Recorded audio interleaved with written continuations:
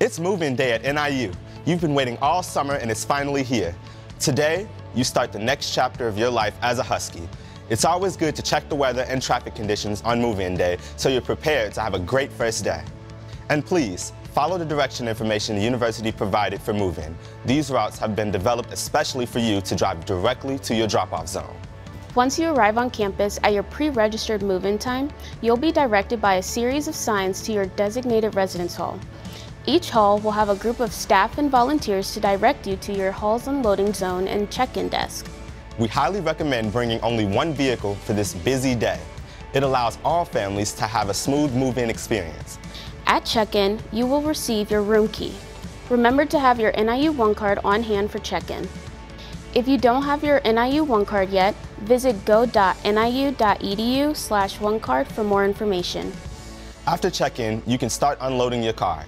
Feel like you need additional help? No problem. Our move-in volunteers can assist.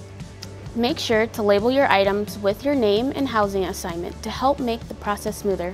There will be a limited number of carts available, so feel free to bring your own. Remember, it's important that someone always remains with your vehicle throughout the unloading process. Once you've finished unloading your car, a university staff member will direct you or your driver to the parking area. There are nearby free parking options at all our residence halls for move-in day.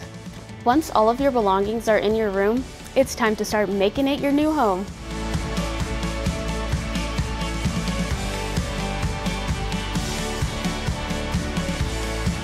Remember, there are certain items that are prohibited in the residence halls. For a full list of acceptable and prohibited items, check out the What to Bring webpage on the NIU Housing website. Don't forget to check with your roommate in advance to avoid bringing duplicate items. NIU provides each residence hall room with a combination refrigerator, freezer, and microwave called a microfridge. Please leave personal ones at home. Patterson Hall Suites have a combination refrigerator freezer, and a microwave is available in the common kitchen area. If you live in a residence hall, double or suite, you share the microfridge with your roommates. And there you have it. You're ready to conquer move-in day.